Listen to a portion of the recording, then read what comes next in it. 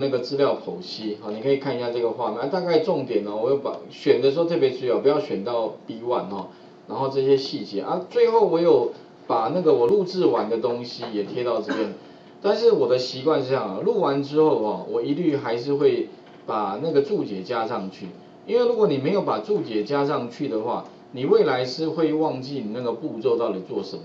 这个很重要，我觉得有些同学就是录完就算了，反正就放那边。可是你隔一段时间回来看哦，你根本不知道你录了什么东西。那那一段你录过的城市啊，基本上呢就变成没有用的、没有用的城市码了。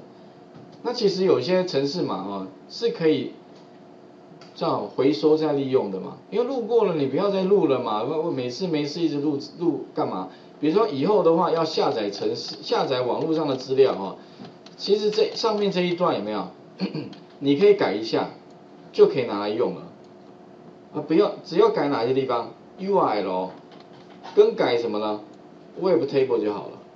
有没有？我一直强调 Web Table，就是第几个嘛，反正你要下载，可是你要算一下啊，有些会躲那个标签，有时候会重叠哦，好，你要算对之后的话呢，程式不用重录了，马上就可以拿来用哦，你不要没事又是一直录同样的东西，干嘛一直录？所以录完之后呢，你要懂得把它怎么样？保留下来，然后最好的方案就是加上注解，所以刚刚的资料剖析这个加一下注解，然后最后的结果了哈，这个我我做完的结果程式在这里，那等一下等一下请各位思考哈，啊可能延伸性的如何再把它分为四十八页，四十八页啊，有点像什么？之前是一个小咪一个结果，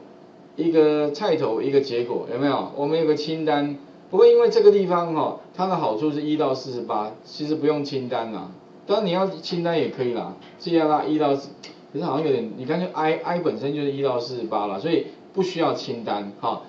那我们有什么方式可以哈，一个放一个，一个放一个，一到四十八，哎，有什么方式？前面有做过了，只是你要怎么样改成我们要的结果，好，那可能时间会比较久。所以上个礼拜也做过什么进度状态列一到四十八，哎，有没有最好的？直接下载，然后一个资料状态列，那个状态列就跳出来，然后就一到四十八下载下载下载下载，哎，完了，就是就隐藏起来。我，这个可能有点难哦，但这个延伸性，请各位试一下。好，怎么做底下也有了，不过尽量哦自己想想看哦。来，画面先还给各位一下哦。那我们也先说。